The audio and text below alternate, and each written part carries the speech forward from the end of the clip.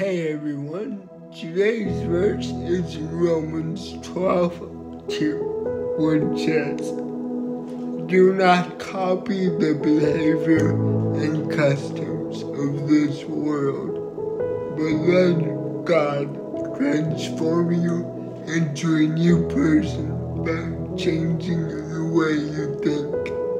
And then you will learn to know God's will for you which is good and pleasing and perfect.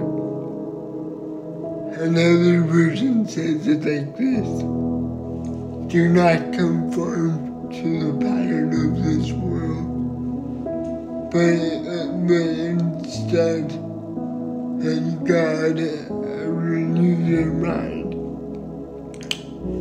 And what Paul is saying in this verse is that although we are in this world, we're, we're not of this world.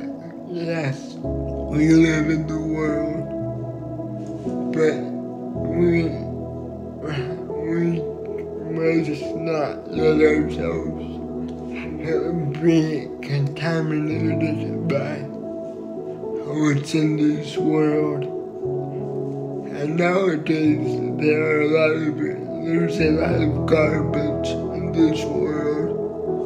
What we see, what we hear, what know is around us.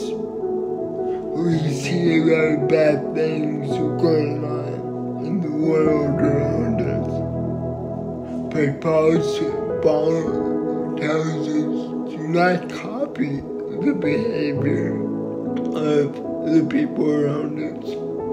Instead, let us be different. Let us be light into this world, preaching the good news of Jesus Christ and not changing the way we think.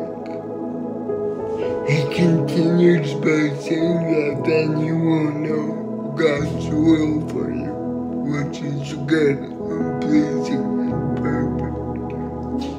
when you shift your mindset from that of the world to that of God, and you surrender your thoughts to Him, He will give you a new purpose.